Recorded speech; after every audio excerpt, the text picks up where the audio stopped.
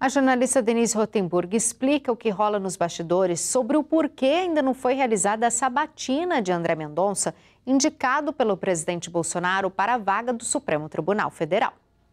O presidente da Comissão de Constituição e Justiça do Senado, Davi Alcolumbre, pode se preparar, porque daqui para frente o senador Alessandro Vieira, do Cidadania de Sergipe, vai cobrar diariamente dele inclusive no plenário do Senado e também no plenário da Comissão de Constituição e Justiça, que ele ponha em pauta a sabatina de André Mendonça para ministro do Supremo Tribunal Federal.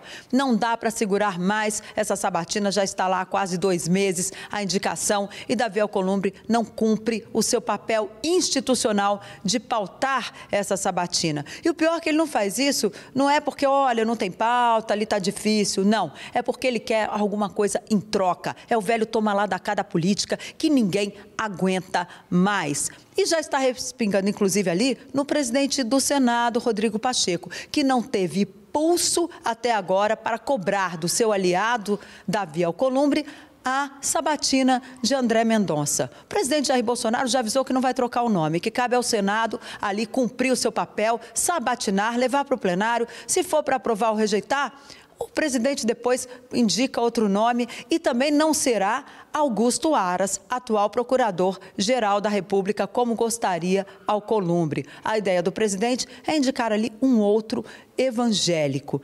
Agora, Vamos ver como Alcolumbre vai se comportar, porque até agora está todo mundo muito mal nessa história e André Mendonça está saindo como vítima. Hoje, inclusive, o presidente do Supremo Tribunal Federal, Luiz Fux, diz que não dá mais para aguentar essa situação.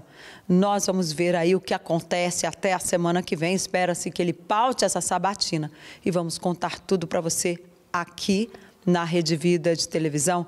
Denise Rotenburg, de Brasília, para o Jornal da Vida.